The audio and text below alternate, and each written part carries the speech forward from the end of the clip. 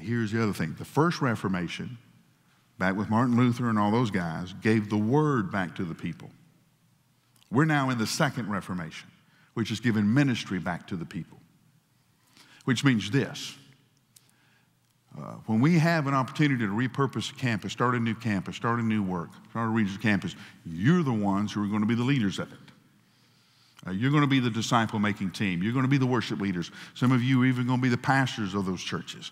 Uh, you're going to be the one that has the burden of this is where one needs to start. Let me show you, Mike, what's going on and the opportunities that are here.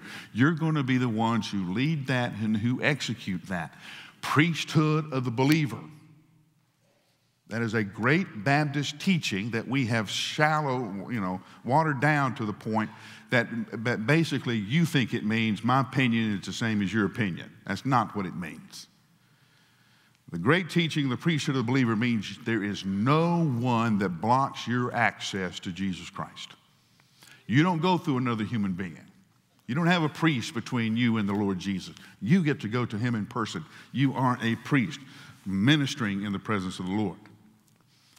And as a priest, you then have the obligation and responsibility to administer the grace that you find in the presence of God to those who are around you, to the brokenness, to the woundedness that you see around you. That's what the priesthood of the believer means. And that's your right as a child of Jesus Christ. That's your calling as a child of Jesus Christ. Hear me.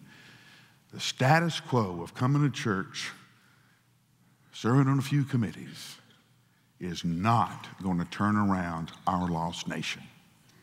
It's not going to cut it. And that means all of us are going to be finding new levels of commitment and new levels of expression. And the door is right in front of us.